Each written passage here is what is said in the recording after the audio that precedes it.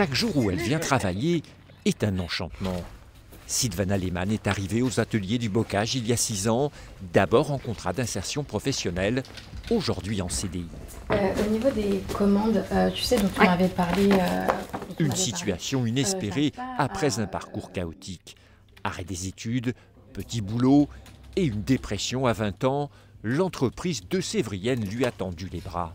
C'est vraiment euh, une, une famille, une sorte de, de- de grande famille. Euh, ça a été vraiment euh, une sorte de renaissance pour moi. Ça m'a vraiment euh, reboosté et euh, permis de sortir de ce cercle, de ce cercle vicieux. Comme elle, près de 1000 personnes en difficulté sont passées par les ateliers du bocage. Monsieur Bruno va bien? Oui. Il est au poste? Une coopérative solidaire fondée il y a 30 ans par Bernard Arru. On a démarré les ateliers de bocage avec deux objectifs. Répondre au chômage, d'une part, et pouvoir permettre à des compagnons d'Emmaüs de passer une étape et de rejoindre le monde du travail classique.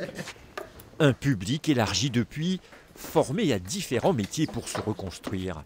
Revalorisation d'ordinateurs et de téléphones, librairie de deuxième main, collecte de cartouches d'encre, des produits remis en circulation.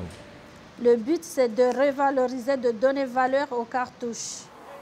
Michael, lui, en contrat depuis deux mois, a choisi la fabrication de palettes pour l'industrie. Quand il a fini ce côté, ben, je fais l'assemblage euh, du, euh, du bois là avec euh, la palette. Une chance pour ce réunionnais arrivé en France il y a quatre ans sans diplôme. J'ai appris un nouveau métier, j'ai appris à faire les palettes et à mieux, comment dire ça, à mieux, à mieux me concentrer dans le truc. euh. Une réussite sociale et économique. L'entreprise compte aujourd'hui trois sites de production et quatre magasins, un pari qui n'était pourtant pas gagné d'avance. On prouve que les activités en lien avec l'économie circulaire sont viables. On a moins de 5% d'aide externe au total. Aujourd'hui, nous sommes 175 salariés, un chiffre d'affaires de 14 millions d'euros.